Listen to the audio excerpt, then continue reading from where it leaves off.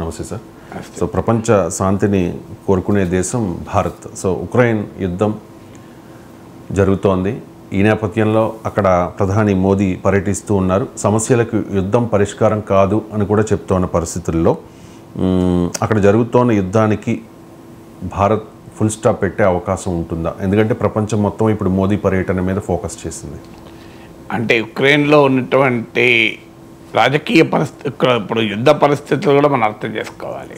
అక్కడ రష్యా ఉక్రెయిన్ల మధ్య ఎవరో ఒకరు ఆధిపత్యాన్ని చెలాయిస్తే తప్ప ఇంకోరు సంధి ఒప్పుకోరు సంధి అంటూ సమ సమాన ప్రాతిపదిక మీద జరిగే అవకాశమే లేదు. ఎందుకంటే రష్యా ఇప్పటికే ఉక్రెయిన్ భూభాగాల్ని ఆక్రమించుకొని ఉంది eastern and southern part of the కంట్రీలో ముఖ్యంగా డాంబాస్ రీజన్ అని అంటారు.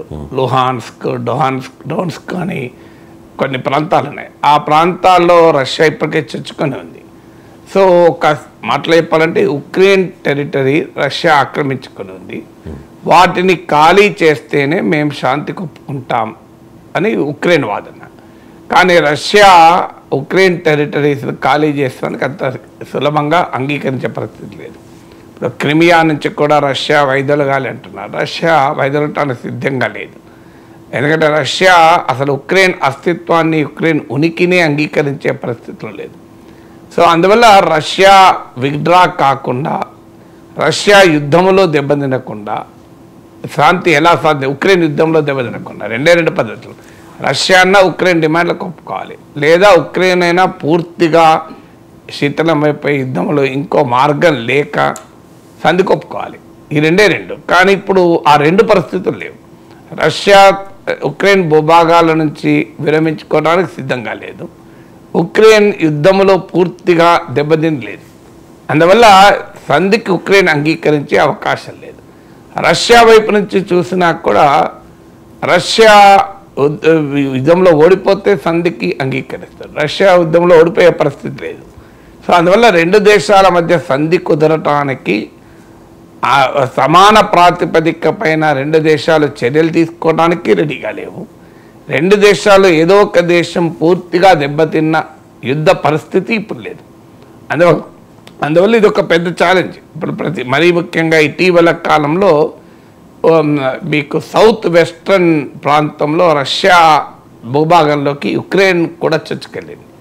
ఇవాళ లేటెస్ట్గా వరకు ఒక టూ హండ్రెడ్ అండ్ ఫిఫ్టీ పన్నెండు వందల యాభై చదరపు కిలోమీటర్ల రష్యన్ భూభాగంలోకి మా ఉక్రెయిన్ చొచ్చుకెళ్ళింది ఉక్రెయిన్ సైన్యాలు చొరబడ్డాయి.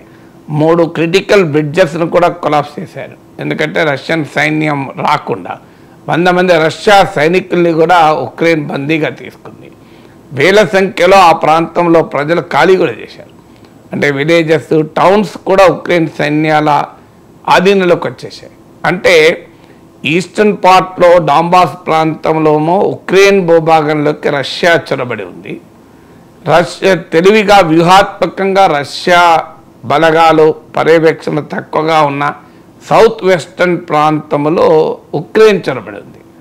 అందువల్ల ఈ రెండు దేశాలు ఇప్పుడు ఉక్రెయిన్ కూడా భవిష్యత్తులో ఈ ప్రాంతం తాను ఆధీనంలోకి తెచ్చుకున్న ప్రాంతాన్ని బార్గెనింగ్ చిప్గా వాడి నీవు రష్యా కనుక ఖాళీ చేస్తేనే మేము ఖాళీ చేస్తాం అనుకునే అవకాశం ఉంది. సో ఈ రియాలిటీని రష్యా అంగీకరించదు. రష్యాకున్న యాటిట్యూడ్ ఏంటి అంటే ఉక్రెయిన్ ఒక్క చిన్న దేశం నేను తలుచుకుంటే ఉక్రెయిన్ ఎక్కడ మిగులుతుంది అని. సో అందువల్ల రెండు దేశాల మధ్య వార్ ఫ్రంట్ గ్రౌండ్ పైన కానీ వాళ్ళ యుద్ధ వ్యూహాల్లో కానీ ఆయా దేశాల వైఖరిలో కానీ ఇంత త్వరగా ఒక అగ్రిమెంట్కి వచ్చే వాతావరణం లేదు. దీనికి తోడు వెస్ట్రన్ కంట్రీస్ సో ఏ స్థాయికైనా ఉక్రెయిన్ను ఆయుధాలు ఇచ్చి రష్యా సంగతి తేల్చుకోమని చెప్పే ఆలోచనలో అమెరికా ఉంది పశ్చిమ దేశాలు ఉన్నాయి. ఎందుకంటే వాళ్ళకు రష్యాను ఎదుర్కోవటానికి ఉక్రెయిన్ ఒక ఆయుధం ఒక పావు. ఉక్రెయిన్ పేరు చెప్పి రష్యాను దెబ్బతీయడం అనేది. అసలు ఇష్యూ కూడా అక్కడే మొదలైంది. నాటోను ఉక్రెయిన్ వరకు ఎక్స్పాండ్ చేయడం వల్ల రష్యా ఉక్రెయిన్ పైకి యుద్ధానికి వచ్చింది. సో ఇప్పుడు ఉక్రెయిన్కు ఆల్రెడీ ఉక్రెయిన్ అధ్యక్షుడు లాంగ్ లాంగ్ రేంజ్ మిసైల్స్ కూడా అడుగుతున్నాను రష్యా లోపలికి వెళ్ళి కూడా కొట్టగలను అని. సో ఇప్పటి వరకు వెస్ట్ కానీ అమెరికా కానీ యూరోపియన్ దేశాలకు కానీ ఉక్రెయిన్కు సహకారం విషయంలో ఎక్కడా తగ్గడలేదు సో అందువల్ల western western country support military support ఉక్రెయిన్కు ఉన్నంత కాలం ఉక్రెయిన్ రష్యాతో పోరాడగలుగుతుంది. వాస్తవంగా ఉక్రెయిన్తో పోలిస్తే Russia more powerful nation military రీత్యా కూడా. సో కానీ ఉక్రెయిన్లో ఉక్రెయిన్కు వెస్ట్రన్ మిలిటరీ అది ఏడ్ అందినంత కాలం ఉక్రెయిన్ రష్యా పైన పోరాడగలుగుతుంది పోరాడుతుంది. సో అందువల్ల ఆ- మిలిటరీ ఎయిడ్ ఆగాలి అంటే అమెరికాలో ట్రంప్ కనుక గెలిస్తే ఆగే అవకాశం ఉంది. అప్పుడు రష్యా పైచేయి సాధిస్తున్న యుద్ధంలో. ఉక్రెయిన్ చావగొట్టి చె- చెవులు మూసేసి సంధి కొప్పుకునేలా చేసే అవకాశం ఉంటుంది. అది కరెక్ట్ సంధి కూడా కాదు కానీ బట్ అదొక కానీ వెస్ట్రన్ కంట్రీస్ అంత త్వరగా ఉక్రెయిన్కి మిలిటరీ ఆడ ఏడ ఆపుతాయి అన్నది క్వశ్చన్ ఎందుకంటే వాళ్ళ రష్యాను కంటైన్ చేయడం అనేది అమెరికా వ్యూహంలో భాగం కనుక. రష్యా కూడా ఉక్రెయిన్ను ఉక్రెయిన్గా చూడడం లేదు. ఉక్రెయిన్ విడిగా రష్యా చూడడం లేదు. ఉక్రెయిన్ను తమపై ఆధిపత్యాన్ని చెలాయించే అమెరికా యూరోపియన్ వెస్టర్న్ పవర్స్ యొక్క ఎత్తుగడగా మాత్రమే రష్యా ఉక్రెయిన్ చూస్తుంది. పుట్టిన చాలాసార్లు అన్నారు. సో అందువల్ల ఇప్పుడున్న పరిస్థితుల్లో ప్రధానమంత్రి నరేంద్ర మోడీ శాంతి సందేశాన్ని తీసుకొని యుద్ధభూమికి వెళ్ళిన మాట నిజం పిలిపించిన మాట నిజం. యుద్ధం అనేది బాంబులు తుపాకుల మోత యుద్ధ ట్యాంకుల మోత యుద్ధ విమానాల దాడుల మధ్య శాంతి సాధ్యం కాదు అని అన్నాడు. ఈ యుగం ఈ కాలం శాంతి కాలం కాలమే తప్ప యుద్ధ కాలం కాదు అన్నాడు. ఇవన్నీ భారతదేశం చెప్తుంది. కానీ అక్కడ గ్రౌండ్ మీద ఉన్న సిచ్యువేషను ఇప్పటికిప్పుడు ఒక అగ్రిమెంట్ ఒక రష్యా ఉక్రెయిన్లో వచ్చేటువంటి వాతావరణం లేదు. సో అది బహుశా వాతావరణం వచ్చినప్పుడు మనం ఆశించవచ్చు. సో అందువల్ల నేను చెప్పిన జియో పొలిటికల్ ఫ్యాక్టర్స్ కానీ వార్లో మిలిటరీ అప్పర్ హ్యాండ్ మిలిటరీ ఉన్న పరిస్థితులు కానీ జా యుద్ధ వ్యూహాలు వార్ వ్యూహాల రీత్యా చూసినా ఎక్కడా కూడా రెండు దేశాలు అంత త్వరగా అంగీకరించి వా టేబుల్ ఆఫ్ నెగోషియేషన్ టేబుల్కి వచ్చే వాతావరణం కూడా లేదు. తర్వాత అయితే ఒక్క అడ్వాంటేజ్ ఏంటంటే మన దేశానికి ఉన్న ఒక అడ్వాంటేజ్ ఉంది. ఆ అడ్వాంటేజ్ ఏంటంటే ఎవరు ఒకవేళ రష్యా కానీ ఉక్రెయిన్ కానీ పీస్కు కాస్తంత మొగ్గు చూపెడితే ఆ డీల్ కుదర్చగలిగేటువంటి వరల్డ్ పవర్స్ ఏంటి? సాధారణంగా మన ఇద్దరు వ్యక్తులు కొట్లాడుకున్నా కూడా somebody should come and break the ice అంటారు. వాళ్ళంతా వాళ్ళే వచ్చి మనం కలిసిపోదామని అనుకోరు. ఎవరో మూడో వ్యక్తి వచ్చి ఇంటర్వ్యూన్ అయితే వారి మానసిక స్థితి శత్రుత్వాన్ని వదులుకోవడానికి రెడీగా ఉంటే ఈ థర్డ్ పర్సన్ ఆ సమయంలో చెప్పితే వింటారు. కానీ థర్డ్ పర్సన్ లేకపోతే వీడు వీడు వాడు లోపల మనసులో తగ్గుదామని అనుకున్నా శత్రుత్వాలు వదులుకుందామని అనుకున్నా వదులుకోరు. సో అలా రష్యా ఉక్రెయిన్లు ఇక అలసిపోయి ఎగ్జాస్ట్ అయిపోయి ఇక మేము యుద్ధంతో సాధించేది ఏమీ లేదు. ఇరు దేశాల విధ్వంసం తప్ప అని రియలైజ్ అయ్యి శాంతి వైపుగా ఆలోచిస్తున్న సమయంలో ఎవరో ఒకరు దానికి మీడియేట్ చేయాలి. ఆ మీడియేట్ చేయగలిగే సామర్థ్యం భారతదేశానికి ఉండడం ఇక్కడ మనము సంతోషించాల్సిన విషయం. ఎందుకంటే అమెరికా క్లియర్గా ఉక్రెయిన్ వైపు ఉంది. యూరోపియన్ దేశాలకు ఈ వార్ కన్నా ముందు రష్యాతో మంచి సంబంధాలు ఉంటాయి. ఫ్రాన్స్ జర్మనీ వాళ్ళ గ్యాస్ పైప్ లైన్ ఇక్కడ నుంచే గ్యాస్ వెళ్ళేది. కానీ ఉక్రెయిన్ వార్ తర్వాత ఫ్రాన్స్ జర్మనీకి కూడా రష్యా పైన లివరేజ్ పోయింది. వాస్తవంగా యుద్ధం మొదలయ్యే ముందు కూడా ఫ్రాన్స్ జర్మనీ అధ్యక్షులు బాగా ప్రయత్నం కూడా చేశారు యుద్ధమే ఆపటానికి. సో కానీ ఇప్పుడు పోస్ట్ ఉక్రెయిన్ వార్ ఇరవై ఎనిమిది నెలల తర్వాత ఇవాళ ఉక్రెయిన్ రష్యాకు వెస్ట్రన్ పవర్స్ యూరోపియన్ పవర్స్ అయిన ఫ్రాన్స్ జర్మనీలకు కూడా ఆ రకమైన రిలేషన్స్ లేవు. అందువల్ల ఇవాళ China third force China. China powerful nation ప్రపంచంలో అనుమానం లేదు. కానీ సమస్య ఎక్కడ వస్తుందంటే చైనాను న్యూట్రల్ పవర్గా ఎవరు చూడడం లేదు. చైనా ఇది వార్ ఫ్రంట్లో రష్యాకు అనుకూల దేశంగానే చైనాను చూస్తున్నారు. సో అందువల్ల ఒక దేశానికి అనుకూలంగా ఉన్న కంట్రీ ఎప్పుడు కూడా మధ్యవర్తిత్వం చేయడం కష్టం. ఆ క్రెడిబిలిటీ కాన్ఫిడెన్స్ ఉండదు అందులో మరీ ముఖ్యంగా రష్యాకు ఉక్రెయిన్లకు మధ్య ఏ ఒప్పందం కుదిరినా అది అమెరికా పశ్చిమ దేశాల ఆమోదం ప్రత్యక్షంగానో పరోక్షంగానో లేకుండా ఒప్పందం కుదరదు. అమెరికా కానీ యూరోపియన్ దేశాలకు కానీ చైనా పట్ల సుముఖంగా ఉండవు. కోర్స్ సుముఖంగా లేకపోయిన ఒప్పందం కుదరదని ఏం అనలేం. ఎందుకంటే ఉదాహరణకు చైనా అమెరికా శత్రు దేశమైన ఇరాన్తో అమెరికా మిత్రదేశమైన సౌదీ అరేబియా అమెరికా ప్రమేయం లేకుండా బీజింగ్లో ఒప్పందం చేసుకున్నాయి. సౌదీ అరేబియాకు ఇరాన్కు మధ్య చైనా డీల్ కుదిర్చింది. వెస్ట్రన్ వెస్ట్ ఏషియాలో అమెరికా లేకుండా ఒక ఒప్పందం కుదరడం అనేది బహుశా మొదటిసారి. అంతకుముందు Camp David agreement Abraham accord ఇందులో ఏదైనా అమెరికా పాత్ర ఉంటుంది. అందువల్ల అంతర్జాతీయ వ్యవహారాల్లో ఇది జరగదు అని ఖచ్చితంగా చెప్పలేం కానీ comparatively China sphere of influence పెరగడం అమెరికా కానీ వెస్ట్ కానీ అంగీకరించింది. చైనా రష్యాకు మెటీరియల్ సపోర్ట్ కేవలం మాటల రీత్యా సపోర్టే కాదు మెటీరియల్ సపోర్ట్ చేస్తోంది. మరీ ముఖ్యంగా ఈ వార్కు అమెరికా కారణము నాటో దేశాలకు కారణమని చైనా బహిరంగంగానే ఆ అమెరికాను నాటోను ప్రశ్నించాయి. ఈ చైనాకు ఇండియాకు తేడా ఏంటంటే రష్యాతో రెండు దేశాలకు కూడా ఈ కాలంలో స్నేహంగా ఉన్నమాట నిజం. అమెరికా ఆంక్షల్ని రెండు దేశాలు పట్టించుకోకుండా రష్యాతో ట్రేడ్ జరిపిన మాట నిజం. కానీ మనకు భారతదేశానికి చైనాకు ఒక తేడా ఉంది. చైనానేమో రెండు పనులు చేసింది. రష్యాకు మెటీరియల్ సపోర్ట్ చేసింది. ఈ వార్కు అమెరికా నాటో కారణమని తేల్చేశాయి. భారతదేశం ఈ రెండూ చేయలేదు. మన రష్యాకి ఏ రకమైన ఆయుధాలను సప్లై చేయలేదు. అదే సమయంలో ఈ వార్కు అమెరికా కారణము నాటో కారణమని మనం ఏమీ ప్రశ్నించలేదు. అందువల్ల మనకు కొంత న్యూట్రల్గా పొజిషన్లో ఉండే అవ- ఉండే అవకాశం ఉంది. మన పైన ఉన్న ఏకైక గ్రీవెన్స్ ఏంటంటే మన రష్యాతో కలవడం ఏంటి? రష్యాతో సంబంధాలు కలిగి ఉండడం ఏంటి? రష్యాతో శాంక్షన్స్ ఉన్న ఆయిల్ కొనడం ఏంటి? ఈ విమర్శ మనతో. ఎందుకని ఉక్రెయిన్ ఈ వార్ను తీవ్రంగా ఖండించలేదు? ఈ ఈ మేరకు మన పైన గ్రీవెన్స్ అందుకల్లా ఈవెన్ స్విట్జర్లాండ్లో ఉక్రెయిన్ పీస్ సమ్మిట్ జరిగింది. దానికి జెలెన్స్కి మోడీకి ఫోన్ చేసి కూడా ఇన్వైట్ చేశారు. మనం వెళ్ళలేదు. ఎందుకంటే రష్యా హాజరు కాని పీస్ సమ్మిట్కు విలువ లేదు అని. సో మనము తమ వైపు లేము అన్న గ్రీవెన్స్ వెస్ట్కు ఉంది అమెరికాకు ఉంది కానీ మనను రష్యా వైపే ఉన్నారు టోటల్గా అని చూసే పరిస్థితి లేదు. అందువల్ల ఇండియాకు ఉన్నటువంటి ఏకైక లివరేజ్ అది.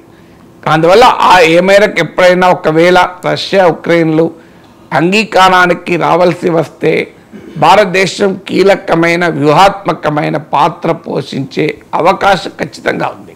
సో ఆ డిప్లొమాటిక్ అడ్వాంటేజ్ ఉంది. వాస్తవంగా ఇప్పుడు ప్రెసిడెంట్గా అమెరికా ప్రెసిడెంట్గా ట్రంప్ కనుక గెలిస్తే ఆ అంతర్జాతీయ పరిణామాల్లో చాలా తీవ్రమైన మార్పులు వచ్చే అవకాశం ఉంటుంది. కానీ ఆ వాతావరణం ఇప్పుడు రోజు రోజుకు తగ్గిపోతుంది. చెప్పలేము ఏం జరుగుతుందో అని. బట్ ఎవరు ఎవరు అమెరికా అధ్యక్షుడైనా అన్లెస్ రష్యా ఉక్రెయిన్లు ఈ యుద్ధములు ఎగ్జాస్ట్ అయి ఏ అగ్రిమెంట్కు రెండు దేశాలు ఒప్పుకోవాలి. లేదా ఏదో ఒక దేశం కంప్లీట్గా దెబ్బతిని వాళ్ళకి ఇంకో మార్గం లేక ఒప్పుకోవాలి. ఈ రెండిట్లో ఏదో ఒకటి జరగకుండా వెసులుబాటు యుద్ధంలో రాదు. అది రాకుండా భారతదేశానికి కూడా ఆపర్చునిటీ రాదు. బట్ డెఫినెట్గా ఎన్నడో ఒక రోజు ఆపర్చునిటీ వస్తే పీస్కు స్కోప్ కనబడితే అప్పుడు India is more likely to play key role ఎందుకంటే భారతదేశానికి రష్యాతోనూ అటు ఉక్రెయిన్తోనూ ఉన్న సంబంధాల రీత్యా రెండు వైపులా అందుకే భారత ప్రధాని జూలై ఎనిమిది తొమ్మిదిలో రష్యాలో పర్యటించారు. అది తీవ్ర విమర్శలకు కారణమైంది. ఎందుకంటే నాటో డెబ్బై ఐదవ యానివర్సరీ వాషింగ్టన్లో జరుగుతున్న సమయంలో భారత ప్రధాని మాస్కోలో ఉన్నారు. సో అది సహజంగానే అమెరికాకు వెస్ట్కు రుచించలేదు. దానికి బ్యాలెన్స్ చేసే క్రమంలోనే ఇప్పుడు ఉక్రెయిన్కు వెళ్తున్నారు. అంటే మేము ఒకవైపు లేము మేము శాంతి వైపు ఉన్నాము ఇటువైపు కానీ అటువైపు కానీ లేము అని చెప్పేటువంటి వైఖరి మనం తీసుకుంటున్నాం. యునైటెడ్ నేషన్స్లో కూడా చాలా రెజల్యూషన్స్లో మనం న్యూట్రల్గా ఉన్నాం. అంటే బైక్ ఓటింగ్లో పాల్గొనలేదు. అందువల్ల భారతదేశానికి స్కోప్ ఉండదా అంటే ఉండే అవకాశం ఉంది. కానీ ఇవాళ గ్రౌండ్లో ఉన్న పరిస్థితులు ఏదో ఇప్పటికిప్పుడు మోడీ వెళ్ళాడు గనక రష్యా ఉక్రెయిన్లు యుద్ధం ఆపేసి సైరన్ మోగించేసి ఇక శాంతికి కూర్చొని సంతకాలు పెడతాయనే పరిస్థితి లేదు. బట్ ఇండియా అదే అపార్చునిటీ పొటెన్షియల్గా ఒక పీస్ మేకర్ రోల్ ప్లే చేస్తానికి అపార్చునిటీ మాత్రం ఉంది. రైట్ సార్ ఒకవైపు ప్రతిపక్షాలు విమర్శలు చేస్తున్నా మరోవైపు మిత్రపక్షాలు అభ్యంతరాలు వ్యక్తం చేస్తూ ఉన్నా మోదీ కొన్ని నిర్ణయాలు తీసుకుంటూ ఉన్నారు సార్. ఆ నిర్ణయాల్ని వెనక్కి తీసుకుంటూ ఉన్న పరిస్థితి అంటే యూటర్న్ కూడా తీసుకుంటూ ఉన్నారు. రీసెంట్గా వక్ఫ్ సవరణ బిల్ అవ్వచ్చు జేపీసీకి పంపించడం అలాగే లాటరల్ ఎంట్రీ మీద కూడా యూ టర్న్ తీసుకున్న పరిస్థితి. ఎందుకు మోదీ ఇలా చేస్తున్నాడు అంటే ఈ రెండే కాదు క్యాపిటల్ గెయిన్స్ ట్యాక్స్లో కూడా బడ్జెట్లో ప్రతిపాదించిన తర్వాత తీవ్ర ఒత్తిడి వచ్చాక దాన్ని కూడా రోల్ బ్యాక్ చేసి మార్పులు చేశారు. అలాగే యూట్యూబర్లు సోషల్ మీడియా బ్లాగర్లు ఇన్స్టాగ్రామర్లు ఇలా ప్రతి వెబ్లో రాసేవాళ్ళు ఓటీటీ ప్లాట్ఫామ్స్ వీళ్ళందరినీ కూడా డిజిటల్ న్యూస్ బ్రాడ్కాస్టర్స్ అని డిజిటల్ కంటెంట్ క్రియేటర్స్గా వీళ్ళను కూడా న్యూస్ అయితే న్యూస్ అండ్ కరెంట్ అఫైర్స్ అయితే వాళ్ళు న్యూ డిజిటల్ న్యూస్ బ్రాడ్కాస్టర్స్ అని లేదు ఇతర రకాల కంటెంట్ అయితే వాళ్ళను ఓటీటీ ప్లాట్ఫామ్స్ లాగా పరిగణలోకి తీసుకుని వాళ్ళను ప్రభుత్వ పర్యవేక్షణ పరిధిలోకి తీసుకొచ్చేటువంటి వివాదాస్పదమైన న్యూ బ్రాడ్కాస్ట్ లా కూడా ఇటీవల తీసుకొచ్చారు. దాని డ్రాఫ్ట్ కూడా కొద్దిమంది సెలెక్టెడ్ పీపుల్కి ఇచ్చారు. దానిపైన తీవ్ర విమర్శలు వచ్చాక ఇప్పుడు అది కూడా వెనక్కి తీసుకున్నారు. సో అందువల్ల ఇప్పుడు వరుస పెట్టి మీకు ఈ కొద్ది కాలంలోనే అంటే జస్ట్ ఒక త్రీ మంత్ పీరియడ్లోనే వరుసగా నాలుగు విషయాల్లో నాకు గుర్తున్నంత వరకు నాలుగు విషయాలు. మీరు అన్నట్లు వక్ఫ్ అమెండ్మెంట్ యాక్ట్ను సెల్ జాయింట్ పార్లమెంటరీ కమిటీకి రెఫర్ చేశారు. క్యాపిటల్ గెయిన్స్ ట్యాక్స్ బడ్జెట్ ప్రపోజల్స్లో మార్పులు చేశారు. బ్రోడ్కాస్ట్ లాను వెనక్కి తీసుకున్నారు. లాటరల్ ఎంట్రీని పైన విడ్రా చేసుకున్నారు. So within three month period నాలుగు నిర్ణయాలు వెనక్కి తీసుకున్నారు ఇలా గతంలో వెనక్కి తీసుకోలేదా అంటే నాకు గుర్తు ప్రధానంగా వెనక్కి తీసుకున్న చాలా రేర్ వ్యవసాయ చట్టాల విషయంలో అది కూడా ఏడాది పాటు రైతులు రోడ్డెక్కి తీవ్ర నిరసన తెలిపిన తర్వాత వా ఆ చట్టాలు మేము వెనక్కి తీసుకుంటున్నాం రైతుల క్షమాపణ చెప్తున్నామని అన్నారు. అది కూడా ఉత్తరప్రదేశ్ ఎన్నికలకు ముందు యూపీ ఎన్నికల్లో అది ఎక్కడ నష్టం జరుగుతుందో అని గమనించి తీసుకున్నారు. అందువల్ల మోడీ స్టైల్ ఆఫ్ ఫంక్షనింగ్ అనేది వాళ్ళు the believe in that bulldozer functioning so అందువల్ల తమ నిర్ణయాల్ని వెనక్కి తీసుకునే స్వభావం ఉన్న నాయకుడు కాదు. కానీ వరుస పెట్టి ఎందుకు తీసుకుంటున్నారంటే రెండు కారణాలు. ఒకటి మిత్రపక్షాల నుంచి వచ్చిన ఒత్తిడి. ఇప్పుడు వర్క్ అమెండ్మెంట్ యాక్ట్ పైన అలాగే ఈ క్యాపిటల్ గెయిన్స్ ట్యాక్స్ ప్రపోజల్ మరీ ముఖ్యంగా లాటరల్ ఎంట్రీ పైన కీలకమైన మిత్రపక్షాలైన జేడీయూ అలాగే లోక్ జనశక్తి పార్టీ తమ తీవ్ర అభ్యంతరాలు తెలిపాయి. సో ఆడ బీహార్లో ఎన్నికలు ఉన్నాయి ప్రత్యర్థులు ఆర్జేడీ వీళ్ళపైనే టార్గెట్ మొదలుపెట్టింది. మీరేం నితీష్ కుమార్ ఏమంటాడు? చిరాగ్ పాస్వాన్ ఏమంటాడు? జతీన్ రామ్ మాంజీ ఏమంటాడు అని తేజస్వి యాదవ్ రిజర్వేషన్ల ఆయుధం ఉపయోగించుకొని బీజేపీ మిత్రపక్షాలను లక్ష్యంగా చేసుకొని అటాక్ చేశారు. దాంతో బీజేపీ మిత్రపక్షాలే వ్యతిరేకించడం అనేది ఒక కారణం. దాంతోపాటు ప్రతిపక్షాలు కూడా పెరిగిన ప్ర- బలంతో గ- గతంలో లేని ఐక్యతతో మోడీ ప్రభుత్వాన్ని ఇరుక్కున పెట్టే పరిస్థితి ఉంది. లోక్సభ ఎన్నికల్లో అపోజిషన్ రాజ్యాంగము రిజర్వేషన్ల అంశం ఆధారంగా చేసుకొని విజయాలు కూడా సాధించాయి. మీకు ఉత్తరప్రదేశ్ రాజస్థాన్ హర్యానా మహారాష్ట్ర ఈ ప్రాంతాల్లో విజయం సాధించాయి కూడా. సో అందువల్ల ఇది అపోజిషన్కు ఆయుధం అయ్యే ప్రమాదం ఉంటుంది. త్వరలో ఎన్నికలు ఉన్నాయి హర్యానాలో ఎన్నికలు ఉన్నాయి ఆ తర్వాత మహారాష్ట్ర జార్ఖండ్లో ఎన్నికలు ఉన్నాయి రెండు వేల ఇరవై నాలుగు లోక్సభ ఎన్నికల సమయంలోనే రాజ్యాంగము రిజర్వేషన్లు ఆయుధాలుగా మారి తమకు తగిలిన అనుభవం ఉంది కనుక ఇదొక ఎక్కడ పొలిటికల్గా నష్టం జరుగుతుందో అని వెనక్కి తీసుకున్నారు. అయితే మనకు అడుగుతున్న మీరు అడిగిన ప్రశ్నకి ఇంకో ఎక్స్టెన్షన్ ఏంటంటే ఎందుకు ఇలా యూటర్న్ చేస్తున్నాడు అన్నది ఒక ఫ్యాక్టర్. తన బలము తగ్గిందని తెలిసి కూడా ఎందుకు మరి మోడీ ఇలాంటి నిర్ణయాలు తీసుకుంటున్నాడు? సాధారణంగా ఇవన్నీ తీసుకునేందుకు మళ్ళీ వెనక్కి రావడం ఎందుకు? తెలియదా ఇప్పుడు ఉదాహరణకు లాటరల్ ఎంట్రీలో రిజర్వేషన్ లేకపోతే తన మిత్రపక్షాలైన జేడీయూ ఎల్జేపీ ఒప్పుకోవని తెలుసు కదా. ఎందుకంటే వాటి భూమికే మీకు మండల్ బేస్ వాటి భూమికే మీకు సామాజిక న్యాయం ఆధారంగా ఉన్న రాజకీయ పార్టీలు. సో ఆ పార్టీలు ఎలా ఒప్పుకుంటాయి? సో రైతు ఆధారంగా ఉన్న పార్టీ అయిన శిరోమణి అకాలీదల్ మీకు ఎప్పుడైతే వ్యవసాయ చట్టాలు వచ్చాక వెంటనే వాళ్ళు నష్టం జరుగుతుంది అనుకున్నప్పుడు ప్రభుత్వం నుంచే వైదొలిగారు నష్టం జరుగుతుందని తెలిసినా కూడా బీజేపీతో పార్లమెంట్ ఎన్నికల వరకు అంటకాగిన జననాయక జనతా పార్టీ ఘోరంగా దెబ్బతిని. ఇప్పుడు పది మంది ఎమ్మెల్యేలు లాస్ట్ టూ థౌజండ్ నైన్టీన్లో కలిసి ఇప్పుడు ముగ్గురు మిగిలారు. సో ఇప్పుడు వస్తున్న ఒపీనియన్ పోల్ ప్రకారం అసలు జననాయక జనతా పార్టీ అడ్రస్ లేకుండా పోయే అవకాశం కనబడుతోంది. సో అందువల్ల అలాగే ఆర్ఎల్డి తమ బేస్ రైతు బేస్ అయినా కూడా వ్యవసాయ చట్టాలను వివాదం ఉన్నా కూడా పార్లమెంట్ ఎన్నికల సమయంలో ఎన్డీఏలో చేరితే అడ్రస్ లేకుండా పోయింది. సో అందువల్ల ఓడిపోయింది. అడ్రస్ లేకుండా కాకపోయినా. సో అందువల్ల ఈ అనుభవాలు ఉన్న తర్వాత ఎల్జేపీ కానీ ఆర్జేడీ కానీ ఈ విధానాన్ని అంగీకరిస్తే మోడీకి తెలియదా? కానీ మరి తెలిసి కూడా వివాదం అవుతుంది తమ మిత్రపక్షాలు అంగీకరించరు. దీన్ని వివాదమైతే వెనక్కు తీసుకోవాల్సి వస్తుంది. విపక్షాలకు ఆయుధమయ్యే అవకాశం ఉంది.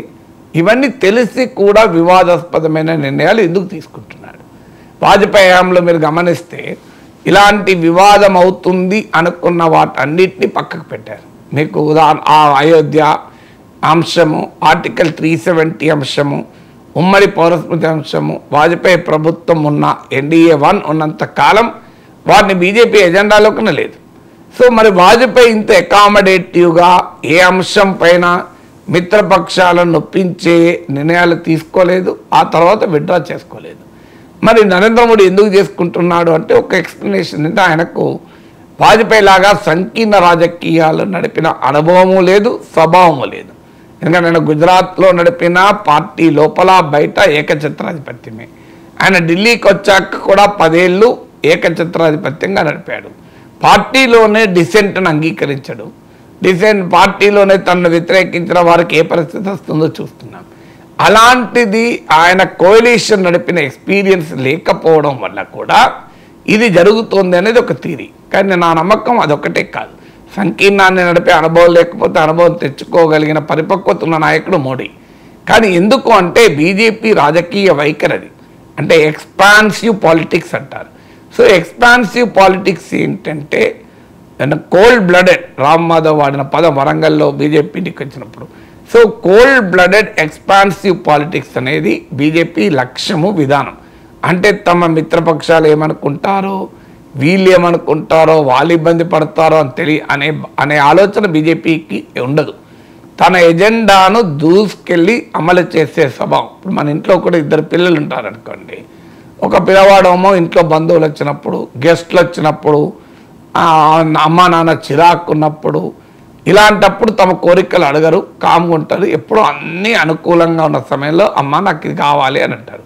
రెండో పిల్లవాడు ఉంటాడు. నథింగ్ డూయింగ్ వాడు బంధువులు రాని గెస్ట్లు ఉండని అమ్మ నాన్న చిరాగ్గా ఉండని పనిలో ఉండని తనకు మూడు వచ్చిందంటే వాడు అది అడుగుతాడు.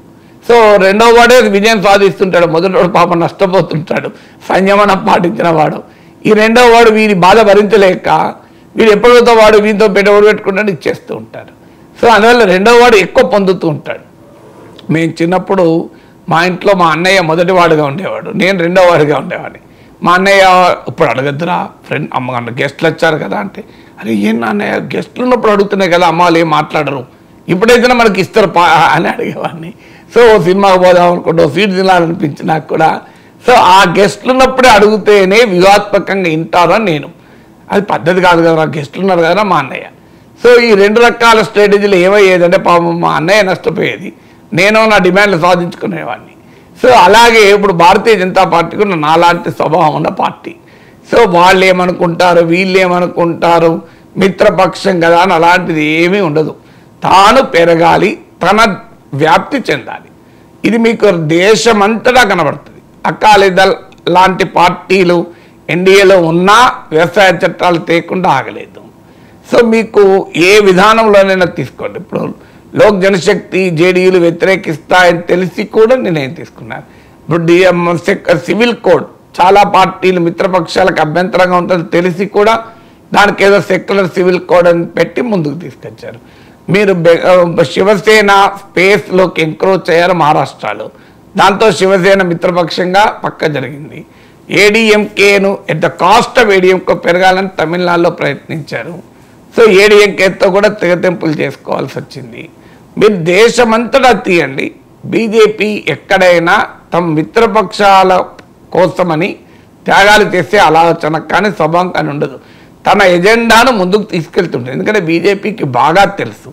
ఈ మిత్రపక్షాలపై ఆధారపడి తన రాజకీయం చేయలేనని. అందువల్ల తన కోర్ ఎజెండాను మిత్రపక్షాల కొరకు షెల్ఫ్లో పెట్టే స్వభావం మోడీకి లేదు. అది మోడీ అగ్రెసివ్ పాలిటికల్ స్టైల్కి అది విరుద్ధం. సో అందువల్ల ఎజెండా ముందుకు తీసుకెళ్తూ ఉంటారు. అభ్యంతరం వస్తే కావాలంటే తాత్కాలికంగా వెనక్కి తగ్గుతారు. కానీ ఎజెండా మిత్రపక్షాల కొరకు ముందస్తుగా ప్రియంప్టివ్గా పక్కకు పెట్టే స్వభావం మోడీకి ఉండదు.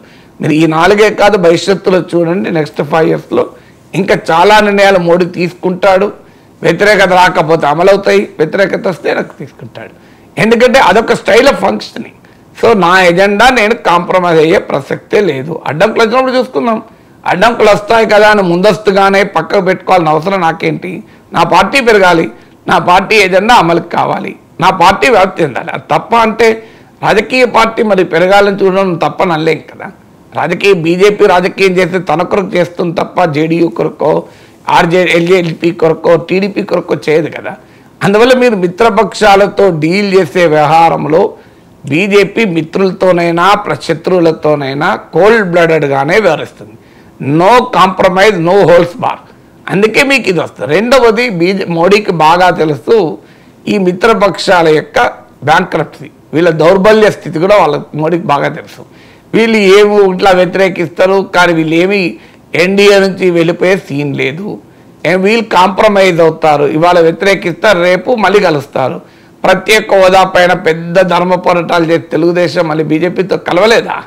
సో ఇది చూసిన తర్వాత మోడీకి ఏమనిపిస్తుంది?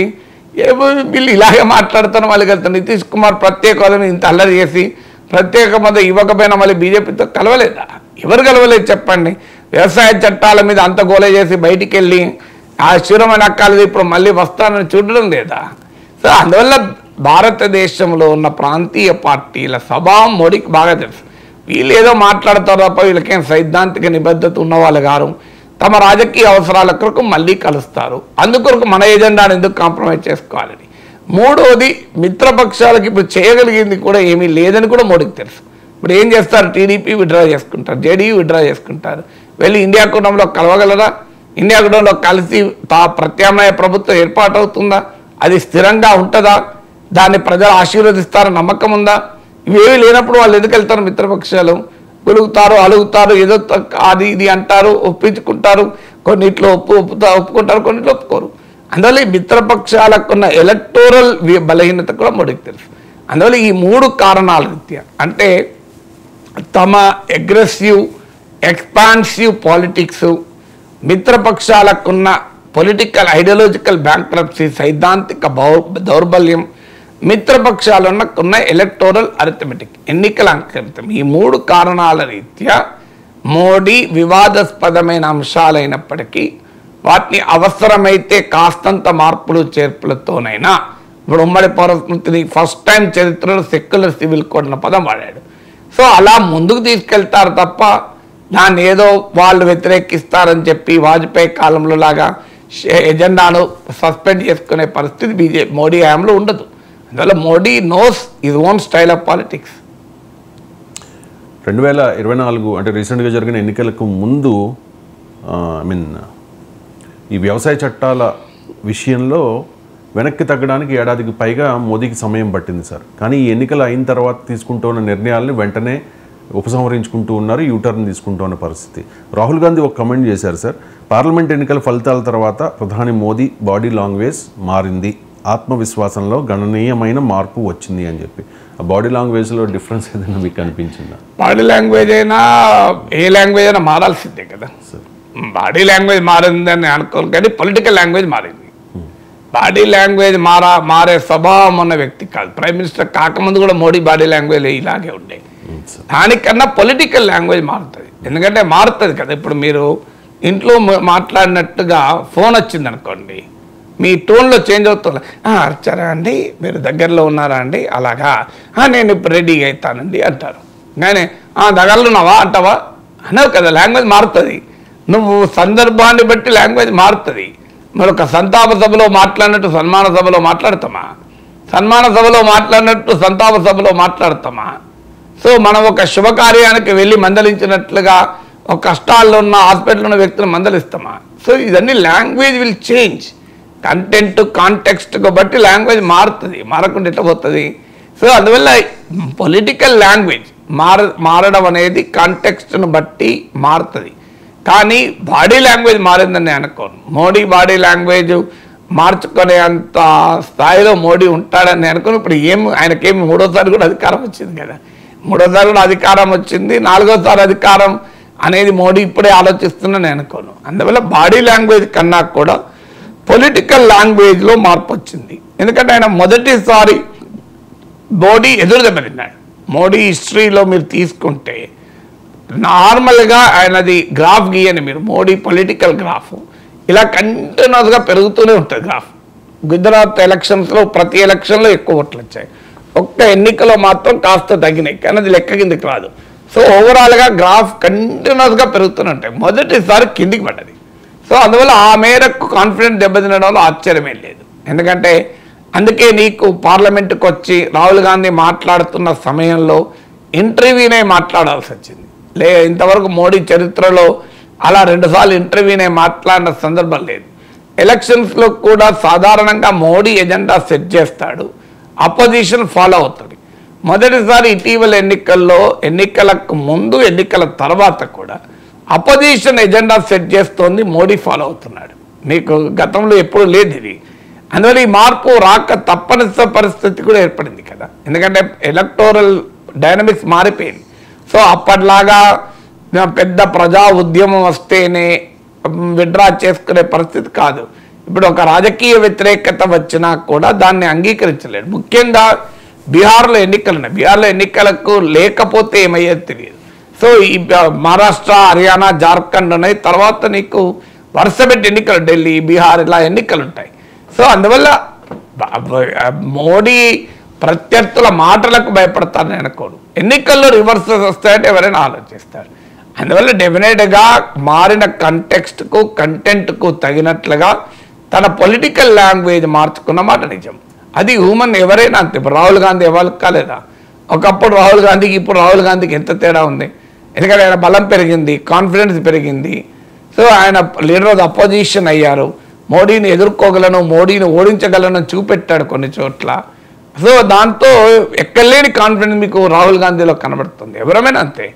మన కాంటెక్స్ట్ను కంటెంట్ను బట్టి మన కాన్ఫిడెన్స్ లెవెల్స్ అనేది పెరుగుతాయి. పెరగడంలో దాంతో బాడీ లాంగ్వేజ్ కూడా మారినట్టు కనబడచ్చు. కానీ మనం ఓటమిలు ఎదుర్కొన్నప్పుడు ఆ మేర కాన్ఫిడెన్స్ కాంటెక్స్ట్ మారిపోతుంది. అంటే పొలిటికల్ లాంగ్వేజ్ మాత్రం కొంత మారక తప్పనిసరి పరిస్థితి. కానీ నేను ఇంతకుముందు చెప్పినట్లు టోటల్గా బీజేపీ తన పాలిటిక్స్ను తన ఐడియాలజీని కంప్లీట్గా వదిలేస్తుంది అనుకుంటే అది అది అది తప్పే. ఆ వదులు వదిలేయాల్సిన అవసరం కూడా బీజేపీకి లేదు. స్టిల్ బీజేపీ ద రెండు వందల నలభై సీట్లు అంటే కాంగ్రెస్కు తొంభై తొమ్మిది సీట్లు ఉన్నాయి ఇప్పటికీ ఎన్డీఏనే ప్రభుత్వం ఏర్పాటు చేసే పరిస్థితిలో ఉంది కానీ ఇండియా కూటమి లేదు. ఇక మిత్రపక్షాలు గట్టిగా నిలబడతాయనేది నా అనుమానాస్పదమే. దేనికి ఎవరు నిలబడ్డారు మిత్రపక్షాలు? మాట్లాడుతూ ఉంటారు ఏదన్నా చిన్న చిన్న అలగడం గులగడం ఉంటుంది తప్ప సీరియస్గా ఈ విషయంలో బీజేపీని ఛాలెంజ్ చేసేటువంటి పరిస్థితుల్లో ఏ మిత్రపక్షం కూడా లేదు. అందువల్ల మోడీకి ఇప్పటికిప్పుడు కంప్లీట్గా డీలా పడాల్సిన అవసరం కూడా లేదు కదా. సార్. దేశవ్యాప్తంగా దేశవ్యాప్తంగా కోల్కతా ట్రైనీ డాక్టర్పై అత్యాచారం ఘటన మీద ఖండనలు వస్తూ ఉన్నాయి సార్ దేశవ్యాప్తంగా చాలామంది డాక్టర్లు అలాగే ప్రజలు కూడా రోడ్ల మీదకి వచ్చి నిరసన వ్యక్తం చేస్తూ ఉన్నారు. మమతా బెనర్జీ సర్కార్ మీద బీజేపీ కూడా టార్గెట్ చేసి సువేంద్ర అధికారి కొన్ని ఆరోపణలు చేశారు. ఇది మమతా బెనర్జీ అంటే తప్ ఐ మీన్ సరైన యాక్షన్ తీసుకోలేదు. కాబట్టి ఇంత దారుణం జరిగింది. మహిళల మీద అత్యాచారాలు ఘటనలు జరుగుతూ ఉన్నాను కదా మమతా బెనర్జీ మీద చాలా ఆరోపణలు వస్తున్న నేపథ్యంలో ఆ సర్కార్ మీద ప్రధాని మోదీకి మమతా బెనర్జీ ఒక లేఖ రాశారు సార్. మహిళలపై అత్యాచార ఘటనల్లో నిందితులకు కఠిన శిక్షలు విధించేలా చర్యలు చేపట్టండి అని చెప్పేసి ఆ లెటర్ కూడా ఒకసారి నేను చదువుతాను. Respected prime minister I wish to bring to your kind attention central point అదే. ఆ లెటర్లో కాని మొత్తం లెటర్ల వివరాల కన్నా ఎక్కువ సెంట్రల్ పాయింట్ ఏంటి? మహిళలపై అత్యాచారాలపైన చర్యలు తీసుకోండి అని ప్రధానమంత్రి అడిగారు అంతే కదా. సో ఆ డిమాండ్ తప్ప ఏ డిమాండ్ ఉంటుంది. సో ఆమె ఏంటంటే ఆ రాజకీయ వ్యూహం. ఎందుకంటే లెటర్ రాయడమే కాదు కదా ఆమె నిరసన కూడా తెలిపారు కదా. తన కార్యకర్తలతో వచ్చి కలకత్తా వీధుల్లో నిరసన కూడా తెలిపారు. ఎందుకంటే ఈ విషయంలో మమతా బెనర్జీ ప్రభుత్వం దోషిగా జనం ముందు నిలబడాల్సి వచ్చింది. అంటే ఈ ఘటనకు ఆమె బా ఆమె బాధ్యత వహిస్తుందా ఆమెకేం సంబంధం అని విమర్ రాజకీయంగా ఆమె మద్దతుదారులు వాదించవచ్చు. కానీ సుప్రీంకోర్టు నిన్న కూడా బెంగాల్ ప్రభుత్వ పోలీసు పనితీరు పైన సిరీస్ ఆఫ్ క్వశ్చన్స్ అడిగారు. మనం చాలాసార్లు మాట్లాడుకున్న ఆ క్వశ్చన్స్ మీరు ఉదయాన్నే డెడ్ బాడీ చూస్తే మరి దాన్ని చూ బాడీ చూస్తే అర్థమైపోతుంది. అత్యాచారం జరిగిందని. సో హత్య జరిగిందని అర్థమవుతుంది మరి దాన్ని సూసైడ్గా ఎందుకని చిత్రీకరించారు? ఇది ఎవరి ప్రాబల్యంతో చిత్రీకరించారు? ఫోర్టీన్ అవర్స్ తర్వాత ఎఫ్ఐఆర్ దాఖలు చేశారు. పోస్ట్ మార్టం తర్వాత ఎఫ్ఐఆర్ దాఖలు చేశారు. ఎక్కడైనా ఎఫ్ఐఆర్ దాఖలైనాక పోస్ట్ మార్టం జరుగుతుంది. Post mortem four four forty five one two four thirty ఆ ప్రాంతంలో పోస్ట్ మార్టం జరిగి ఎయిట్ థర్టీ క్రిమేషన్ అయితే లెవెన్ ఫార్టీ ఫైవ్కి ఎఫ్ఐఆర్ దాఖలు చేశారు. అది కూడా బా పేరెంట్ ఫ్యామిలీ విక్టిమ్ ఫ్యామిలీ దాఖలు చేశారు. మరి ఈ ఆర్జికార్ హాస్పిటల్ అడ్మినిస్ట్రేషన్ ఏమైనట్లోని? ఆర్జికార్ హాస్పిటల్ పైన వేల సంఖ్యలో దాడి మనుషులు వెళ్ళి దాడి చేశారు. ఆ ఆ ప్రిన్సిపల్ పైన ఇన్ని ఆరోపణలు వస్తుంటే అది కవరప్ చేసే ప్రయత్నం చేశారు అతనికి ప్రమోషన్ ఇచ్చారు. అంటే ఆర్జికార్ మెడికల్ కాలేజ్ ప్రిన్సిపల్గా రిజైన్ చేస్తే ఆయనకు మరింత ప్రతిష్టాత్మకమైన నేషనల్ మెడికల్ కాలేజ్ ప్రిన్సిపాల్గా ప్రమోషన్ ఇచ్చారు. ఇప్పుడు ఏకంగా ఆయనను తీసుకెళ్ళి OSD in health ministry office of special duty పెట్టారు. హెల్త్ మినిస్టర్ మమతా బెనర్జీ అంటే ఆయన పైన ఇన్ని విమర్శలు వచ్చినా ఆయనకు ప్రమోషన్లు ఇచ్చుకుంటూ పోతున్నారు తప్ప ఆయన పైన ఏ రకమైన చర్య కూడా లేదు. సో అందువల్ల ఇవన్నీ మా తల్లిదండ్రులు మూడు గంటల పాటు బిడ్డ శవాన్ని కూడా చూడని ఇవ్వలేదు సో పోలీసుల వ్యవహార సరళి నిరసన తెలుపుతున్న వారిని బెదిరించారు. నలభై మూడు మంది నిరసన తెలిపిన డాక్టర్లను వంద మందికి పైగా నర్సులు ట్రాన్స్ఫర్ చేశారు. మీడియా పైన సోషల్ మీడియా పైన తీవ్ర నిర్బంధం పెట్టారు. ఆఖరికి ఒక తృణమూల్ కాంగ్రెస్ ఎంపీ సుకేంతు శేఖర్ రాయ్ ఆయన పోలీస్ కమిషనర్ను కూడా విచారించాలి అన్నందుకు ఆయన పైన కూడా నోటీసులు ఇచ్చి పిలిపించారు. సో ఇవన్నీ మమతా బెనర్జీ ప్రభుత్వం క్లియర్గా ఈ వ్యవహారాన్ని లో ఎవరినో కాపాడే ప్రయత్నం నిందితుడిని కాపాడే ప్రయత్నం చేస్తుందన్నది నిజం. ఇది పొలిటికల్గా ఎప్పుడైతే ఆమెకు సమస్యగా మారిందో counter political moves Mamata Banerjee వేయడం మొదలుపెట్టింది. అందులో భాగంగా ఆమె ఒక్క బెంగాల్లోనే జరుగుతున్నాయా? దేశమంతా అత్యాచార ఘటనలు జరగడం లేదా? అనే వాదన లేవనెత్తుతూ ఆమె కూడా చూడు న్యాయం కావాలి అంటూ తానే రోడ్ల మీదకి వచ్చి నిరసన తెలపడం ఇప్పుడు ప్రైమ్ మినిస్టర్కి లేఖ రాయడం కూడా జరిగి మొదలుపెట్టింది. సో అది ఆమె రాజకీయ వ్యూహం. కానీ సమాజంలో కూడా ఒక ప్రశ్న మనం వేసుకోవాలి. సుప్రీంకోర్టు ఇంత అద్భుతంగా రియాక్ట్ అవుతుంది బెంగాల్ విషయంలో. కానీ మన న్యాయ వ్యవస్థలో ఎన్ని కేసులు పెండింగ్ ఉన్నాయి? కొన్ని వేల కేసులు పాక్సో కేసులు కూడా పెండింగ్ ఉన్నాయి. సో వాటిని పరిష్కరించకుండా సత్వర న్యాయం ఎలా జరుగుతుంది? ఫాస్ట్ ట్రాక్ కోర్టులు ఉన్నాయి ఫాస్ట్ ట్రాక్ కోర్టులో కూడా కేసులు తేలడం లేదు. అది కూడా మనం ఇలాంటి ఒక ఇన్సిడెంట్ వచ్చినప్పుడు ఒక పెద్ద ప్రజాగ్రహం వస్తే న్యాయ వ్యవస్థ పోలీస్ వ్యవస్థ రియాక్ట్ అవుతుంది. మీరు ఉదాహరణ తీయండి. మహారాష్ట్రలో బదలాపూర్లో ఇద్దరు స్కూల్ పిల్లల పైన అత్యాచారం జరిగింది. అందులో ఎఫ్ఐఆర్లో ఒకరిది రాశారు ఇంకొకరిది రాయలేదు. సేమ్ గంటల తరబడి తల్లిదండ్రులు వెయిట్ చేయించారు. చివరకు హైకోర్టు ముంబై హైకోర్టు మొట్టికాలేసింది. ఏం ప్రజాగ్రహం వస్తేనే కేసులు పెడతారని. అక్కడ కూడా ఎఫ్ఐఆర్ దాఖలు చేయలే. మరి ఇప్పుడు వస్తున్న విమర్శ కూడా ఏంటంటే బెంగాల్లో జరిగిన ఇన్సిడెంట్ దారుణమైంది. ఒక ఇన్సిడెంట్ను మరో ఇన్సిడెంట్తో ఎప్పుడూ పోల్చకూడదు. మమతా బెనర్జీ ప్రభుత్వ వ్యవహార సరళి దుర్మార్గంగా ఉంది. కానీ మరి మహారాష్ట్రలో దానిపైన మీడియాలో న్యాయ వ్యవస్థలో సమాజంలో రాజకీయ వ్యవస్థలో ఈ కదలిక ఎందుకు ఉండదు దీని వెనకాల పాలిటిక్స్ లేవా అనేది ఇప్పుడు వస్తున్న ప్రశ్న. ఎందుకంటే మమతా బెనర్జీ అక్కడ తృణమూల్ కాంగ్రెస్ అధికారంలో ఉంది. మహారాష్ట్రలో బీజేపీ అధికారంలో ఉంది. నిన్న సుప్రీంకోర్టు బార్ అసోసియేషన్ మాజీ అధ్యక్షుడు దుష్యంత్ దాబే ఒక నేషనల్ ఛానల్లో మాట్లాడుతూ రైజ్ చేశాడు ఈ అంశాన్ని. అలాగే ఉత్తరప్రదేశ్లో హత్రాస్లో ఒక దళిత బిడ్డ పైన అత్యాచారం జరిగితే ఎందుకు మరి వ్యవస్థలు స్పందించలేదు? ఎంత దారుణంగా యోగి ఆదిత్యనాథ్ ప్రభుత్వం చేసిందంటే జర్నలిస్టులను కూడా అరెస్ట్ చేశారు. సిద్దిక్ కప్పన్ అనే అతను అత్రాత్ బాధితురాల్ని ఇంటర్వ్యూ చేస్తాను పో దానిపైన యూఏపీఏ కేసు పెట్టి లోపలేశారు. సో అలా మీకు ఆ- ఆ- ఉత్తరప్రదేశ్లో దళిత బాలిక పైన అత్యాచారం జరిగిన బీజేపీ ఎమ్మెల్యే జైల్లో ఉంటే ఆయన కుటుంబ సభ్యులకు మళ్ళీ టికెట్ ఇచ్చారు. సో ఇవన్నీ జరుగుతున్నప్పుడు ఎందుకు వ్యవస్థ ఈ స్థాయిలో రియాక్ట్ కాలేదు? అనే అంటే పాలిటిక్స్ వల్ల రియాక్ట్ కాలేదా వ్యవస్థలు? అలాగే మీకు చూడండి హైదరాబాద్లో దిశ ఇన్సిడెంట్ జరిగింది. అద్భుతమైన స్పందన ప్రజల్లో ఉన్న ప్రజల సమీకరణ. అంటే ప్రజలు తమ ఆగ్రహావేశాలని బ్రహ్మాండంగా డెమాన్స్ట్రేట్ చేశారు చెయ్యాలి కూడా. ఆ రకమైన స్పందన అవసరం కూడా. కానీ ఆసిఫాబాద్లో ఒక పేద బిడ్డ ఆమె ఊరూరు తిరుగుతూ పిన్నులు ఇవన్నీ చిన్న చిన్నవి జడలు అమ్ముకొని తిరిగే ఆమె పైన అత్యాచారం జరిగింది సో ఆమె పైన అత్యాచారం అసలు మనం ఎక్కడ తెలిసిందా ఏమన్నా సుప్రీంకోర్టు రియాక్ట్ అయిందా హైకోర్టు రియాక్ట్ అయిందా? మీడియాలో డిబేట్ నడిపామా? అంటే you cannot be unequal in death also you cannot be unequal in death అని. అంటే మరణం ఎంత దుర్మార్గమైన పరిస్థితులు ఎదుర్కొన్న ఏ బిడ్డైనా ఒక్కతే కదా అని. మరి వ్యవస్థల స్పందనలు ఈ తేడా ఎందుకుంది? రూరల్ ఏరియాస్లో జరిగితే అది నోటీసులోకి రావడం లేదు. అర్బన్ ఏరియాస్లో జరిగినవి కొంత నోటీసులోకి వస్తున్నాయి.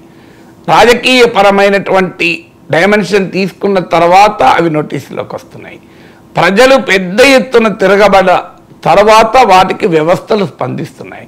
ఇప్పుడు ఈ ఆర్జికర్ మెడికల్ కాలేజ్ ఇన్సిడెంట్ కూడా జరిగిన one one or two days వరకు పెద్దగా ఎక్కడ రియాక్షన్ లేదు. అది ఓన్లీ డాక్టర్స్ కమ్యూనిటీలో మాత్రమే చర్చకు వచ్చింది డాక్టర్స్ కమ్యూనిటీలో మాత్రమే ఆవేదనతో మొదలైంది. తర్వాత అది పెద్ద ప్రజాగ్రహం వెల్లువగా వచ్చాక వ్యవస్థలన్నీ స్పందిస్తున్నాయి. లేకపోతే స్పందించడం లేదు. అదే ఇప్పుడు దళిత బిడ్డలపైన గిరిజన బిడ్డ ఆదివాసీ బిడ్డలపైన జరిగితే దాన్ని ఎవరు పట్టించుకున్న పాపాన పోవడం లేదు. నిందితులకు గనక రాజకీయ ప్రాబల్యం ఉంటే దాన్ని ఎవరు పట్టించుకోవడం లేదు. ఇలాంటి ప్రశ్నలు కూడా ఈ కాంటెక్స్ట్లో వస్తున్నాయి. ఇవేవి మమతా బెనర్జీ వైఖరిని ఖండం చేయవు. మమతా బెనర్జీ వైఖరి తప్ప ఆమె ఖచ్చితంగా ఆమె దుర్మార్గంగా ఆమె ప్రభుత్వం వివరిస్తోంది అందులో ఎలాంటి డిస్ప్యూట్ లేదు. దానికి అనేక సార్లు మనం చెప్పాం. సుప్రీంకోర్టే చెప్పింది. ఏం చెప్పడం కాదు. సో కానీ వ్యవస్థలో దీనికి ఎక్కడ పరిష్కారం వెతకాలి? అంటే ఏదో ఒక ప్రజాగ్రహం వెల్లడైనప్పుడు మహానగరాల్లో జరిగి మన దృష్టికి వచ్చినప్పుడు మాత్రమే రియాక్ట్ అవుతామా లేకపోతే రియాక్ట్ కామా? కాస్ట్ క్లాస్ ప్లేస్ పాలిటిక్స్ ఇవన్నీ కూడా మన రియాక్షన్లో సమాజ స్పందనలో ఓ కీలక భూమిక పోషిస్తున్నాయి కదా. దీన్ని మార్చాలి వ్యవస్థాగతంగా అనే డిబేట్ నడుస్తుంది. బట్ స్టిల్ ఈ డిబేట్ మమతా బెనర్జీ లేఖ రాయడాన్ని సమర్థించవు మమతా బెనర్జీ రోడ్డు మీదకి రావడాన్ని సమర్థించవు. కానీ భారతదేశంలో సమాజం కా పౌర సమాజం కానీ న్యాయ వ్యవస్థ కానీ మీడియా కానీ రాజకీయ వ్యవస్థ కానీ ఆలోచించాల్సిన అవసరం ఉంది. మనము దేశంలో ఏ బిడ్డకు అన్యాయం జరగకుండా ఏం చేయగలం? దానికి ఏమైనా పరిష్కార మార్గాలు ఉన్నాయా ఈ పొలిటికల్ కాంట్రవర్సీస్కే పరిమితమై అసలు ఇష్యూస్లోకి వెళ్ళకపోతే నష్టం జరుగుతుంది. వాట్ ఈస్ ద సొల్యూషన్ దీనికి పరిష్కారం ఏంటి? ఈ ఈ సమస్యకు పరిష్కారంలో ఎవరి బాధ్యత ఏంటి? ఇప్పుడు న్యాయ వ్యవస్థ బాధ్యత సత్వరంగా తీర్పులు రావడం. సో ఇప్పుడు మమతా బెనర్జీ ఈ లేఖలో రాశారు పదిహేను రోజుల్లో ఉరి తీయాలి. పదిహేను రోజుల్లో ఉరి తీయడం కూడా కరెక్ట్ కాదు. అది పదిహేను రోజులా మూడు రోజులా నెల రోజులా అనకు కాదు. సత్వర న్యాయం జరగాలి. దాని డేట్ లైన్లు పెట్టుకొని ఆ డేట్ లోపల ఎవరినో అని లేపేయం కదా. సో అందువల్ల స్పీడీ జస్టిస్ కావాలి. Right to speedy justice. Right to equal justice. సమాన న్యాయం కావాలి. త- సత్వర న్యాయం కావాలి అనే చర్చ మాత్రం జరగాలి. Right sir. V Hanumantharao Congress పార్టీలో చాలా సీనియర్ నాయకుడు. పిసిసి ప్రెసిడెంట్గా కూడా పనిచేశారనుకుంటా గతంలో. సో ఆయనకి అంటే ఖమ్మం నుంచి పార్లమెంట్ ఎన్నికల్లో లోక్సభ ఎన్నికల్లో పోటీ చేయాలని ఆయన ఆశించారు కానీ ఆయనకి టికెట్ దక్కలేదు. కానీ కేటీఆర్ ఇప్పుడు విహెచ్ మీద ఐ మీన్ ఏదో సాఫ్ట్ కార్నర్తోనో ఏదో ఒక మాట మాట్లాడారు. మీరు రాజ్యసభ టికెట్ ఇవ్వాలంటే విహెచ్కి మించిన అర్హుడు ఉంటారా? ఎక్కడో అభిషేక్ మను సింగ్ని తీసుకొచ్చి ఇక్కడ ఇచ్చారు. మీకు విహెచ్ కనిపించలేదా? పార్టీ కోసం ఎంత కష్టపడినా విహెచ్ని మీరు మీకు మీరు ఎందుకు సముచిత స్థానం ఇవ్వట్లేదు అని చెప్పేసి రేవంత్ రెడ్డిని క్వశ్చన్ చేస్తూ ఉన్నారు సార్ కేటీఆర్. ఇప్పుడు ఇది ఏంటంటే కాంగ్రెస్ పార్టీలో పుల్లలు పెట్టాలి. కాంగ్రెస్ పార్టీలో ఇప్పుడు హనుమంతరావు ఆల్రెడీ కోపాన్ ఉండడు రాజ్యసభ సీట్ ఇవ్వలేదని. ఆయనకి ఏదో సానుభూతి చూపినట్టు చూపి కాంగ్రెస్లో పుల్లలు పెట్టాలని రాజ్- అనే అనే చీప్ పాలిటిక్స్ ఇప్పుడు ఈ ప్రశ్న కేటీఆర్ అడిగినప్పుడు ఆయనకు కూడా ప్రశ్నలు వస్తాయి కదా. మరి మీకు రాజ్యసభ సీట్లు వచ్చినప్పుడు ఒక తెలంగాణ సమాజంలో చాలా గొప్ప పేరు ప్రఖ్యాతులున్న మేధావులు కళాకారులు కవులు చాలామంది ఉన్నారు కదా. వాళ్ళని ఎందుకు రాజకీయ పంపలేదు మరి? ఓ గౌరెడ్డి వెంకన్న ఓ సుధాల అశోక్ తేజ మీకు ఒక దేశపతి శ్రీనివాస్ వీళ్ళంతా తెలంగాణ ఉద్యమంలో చాలా కీలక పాత్ర పోషించారు కదా. ఉరువుతలు మరి వీళ్ళందరినీ రాజ్యసభ పంపకుండా పారసారథి రెడ్డిని వద్రరాజు రవిచంద్ర ఎందుకు పంపారు? మీకు పోనీయండి. సమ కళ కళలు కళాకారులు పక్కకు పెట్టండి. పార్టీ కోసం ఏ ఉద్యమ నుంచి తన్నులు తింటూ పనిచేసిన ఎర్రోళ్ళ శ్రీనివాస్ లాంటి వాళ్ళు అణగారిన వర్గాల నుంచి వచ్చిన తాడూరు శ్రీనివాస్ లాంటి వాళ్ళకి ఎందుకు రాజ్యసభ ఇవ్వలే? ఎవరికి ఇచ్చారు మళ్ళీ రాజ్యసభ కావాలంటే పార్థసారథ రెడ్డి. పార్థసారథ రెడ్డి బీఆర్ఎస్కి చేసిన అద్భుతమైన సేవలు ఎన్ని చేశారు? వీళ్ళకన్నా ఎక్కువ చేశారా? ఎన్ని చేశారంటే పార్థసారథ రెడ్డి పాటు పార్థసారథి రెడ్డి అవసరాలు వేరే ఉంటాయి. సో ఈ మధ్యరాజు రవిచంద్రకి ఇచ్చారు. మరి వాళ్ళకన్నా కష్టపడి పార్టీ కొరకు పనిచేసిన వాళ్ళు లేరా? అమరవీరుల కుటుంబాలకు చెందిన వాళ్ళు రాజ్యసభకు ఎందుకు పంపలే? ఈ అడిగితే కేటీఆర్ ఏమో ఆన్సర్ చెప్తాడు? సో అందువల్ల మీకు కాంగ్రెస్ నుంచి డి శ్రీనివాస్ రావడంతోనే ఆయన రాజ్యసభ టికెట్ ఇచ్చారు. ఏం బీఆర్ఎస్లో మొదటి నుంచి పనిచేసిన కార్యకర్తలు ఎవరు లేరా? కాంగ్రెస్ నుంచి రావడంతోనే ఇచ్చారు. మరి కాంగ్రెస్ నుంచి వచ్చిన వాళ్ళకు పదవులు ఇచ్చారు వేరే పార్టీ నుంచి వచ్చిన వాళ్ళకు. బీఆర్ఎస్లో మొదటి నుంచి ఉద్యమ కాలాల నుంచి ఉన్న వాళ్ళు లేరా? ఎందుకు ఇచ్చారు? సో ఆ ప్రశ్నలు కూడా ఉత్పన్నమవుతాయి కదా. ఇది కాంగ్రెస్ పార్టీ అంతరంగిక వ్యవహారం. ఆ పార్టీ ఎవరిని అభ్యర్థిగా నిర్ణయించాలన్నది ఆ పార్టీని తీసుకునే నేను తప్ప వేరే పార్టీ ఎట్లా తీసుకుంటుంది? సో అందువల్ల అక్కడ హనుమంతరావుకి అన్యాయం జరిగితే హనుమంతరావు చూసుకోగలడు. కేటీఆర్ సహకారం అవసరం లేదు హనుమంతరావుకు. సో అలాంటప్పుడు మరి బీఆర్ఎస్లో ఎవరికి రాజ్యసభ టికెట్ ఇచ్చారనే లెక్కలు తీస్తే తేలిపోతాయి కదా. తెలంగాణలో ఒక గొప్ప శాస్త్రవేత్తకో ఓ గొప్ప కళాకారుడికో ఓ గొప్ప రచయితకో ఓ గొప్ప మేధావికో ఒక గొప్ప విద్వాంసునికో ఇచ్చారా? ఎంతమందికి ఇచ్చారు? చెప్పండి బీఆర్ఎస్ పాలనలో. సో అది కూడా తీవ్ర విమర్శలు వచ్చినాక దేశపతి శ్రీనివాస్కు ఎన్ని ఎన్ని ఎన్ని రోజుల తర్వాత వచ్చింది? గోరెడ్డి వెంకన్నకి ఎన్ని రోజుల తర్వాత వచ్చింది? సుద్దాల అశోక్ తేజ కూడా ప్రామిస్ చేసినట్టున్నాడు. ఇవ్వలే కదా లాస్ట్ వరకు కూడా. సో అందువల్ల వీటన్నిటికీ ఆన్సర్లు ఉండాలి కదా. సో అందువల్ల మనము తెలంగాణ ఏ రాజకీయ పార్టీ అయినా వారి వారి అవసరాలకు అనుగుణంగా ఉంటారు. ఎవరు పార్టీలో సీనియరు అనే ఫ్యాక్టర్ పైన ఉండ- ఉండదు కదా. మరి రేపు హనుమంతరావు ఉండగా రేవంత్ రెడ్డి ముఖ్యమంత్రి కాలేదా? బట్టి విక్రమార్క ఉండగా రేవంత్ రెడ్డి ముఖ్యమంత్రి కాలేదా? దానికి రేవంత్ రెడ్డి ఒక అద్భుతమైన ఎగ్జాంపుల్ ఇచ్చాడు. ఒక పోలీస్ స్టేషన్లో ఆయన ఇరవై ఏళ్ళుగా కానిస్టేబుల్గా పనిచేస్తాడు.